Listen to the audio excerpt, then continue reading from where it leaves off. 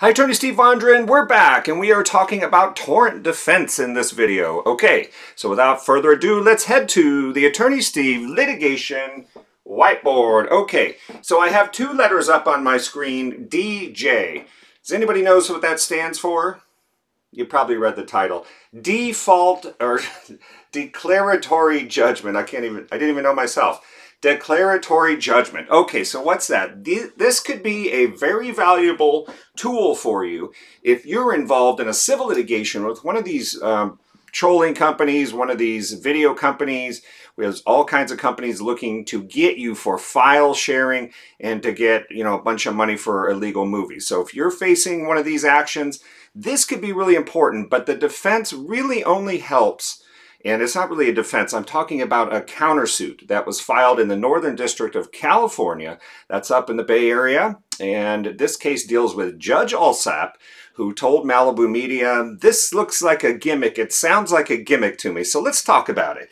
So we have our typical trolling case. Let's just call it a copyright infringement. And I just call it trolling. I'm just using that words because other judges will tend to use it from time to time. But it's these plaintiffs that say, you violated our copyrights. We want to get paid. So they file a lawsuit and they file it against a Doe defendant. And a Doe defendant is really just a fictitious name. It means we don't know the true identity of the person is. We just know the IP address of the subscriber, okay? So this is an IP address sued as a Doe. So you may see a complaint. And in fact, I'm going to read it here for you.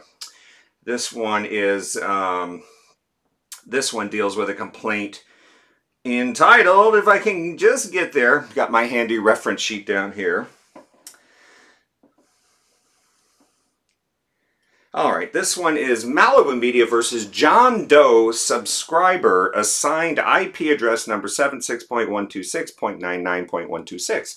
So they're sued as an IP address. The plaintiff does not know the identity of the person at this stage, but they file the lawsuit suing the Doe defendant, okay?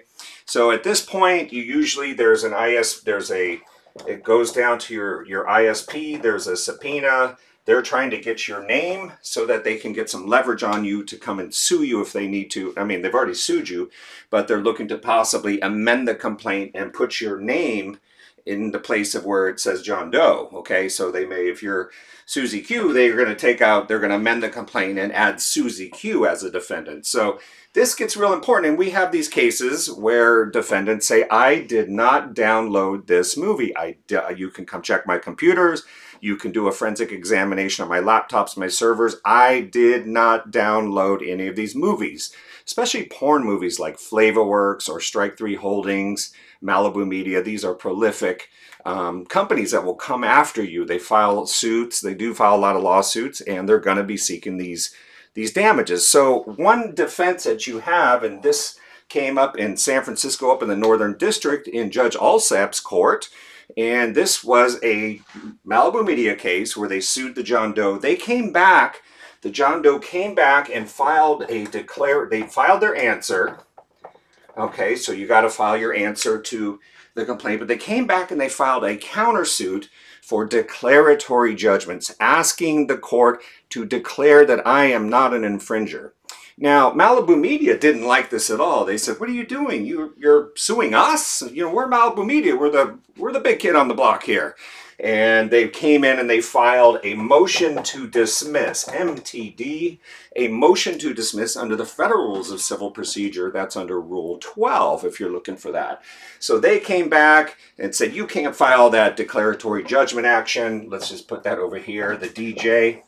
And they said, you can't do that, and they sought to dismiss the declaratory judgment. Judge Alsup said, sorry, pal, they get to allege that if they want. If they're claiming they didn't infringe the copyright, they have every right to allege a declaratory judgment. Why is that? Well, because if you get down here and the defendant finds out and they go, wow, you know what?